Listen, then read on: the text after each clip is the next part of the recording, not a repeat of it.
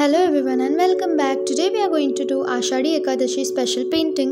So for it we will require black color tinted paper, dark blue and light blue color rangoli, glue, water, punching machine, pencil and plate. So friends let's get started but before starting please like, share and subscribe to my channel and hit the bell icon so that you don't miss my future videos.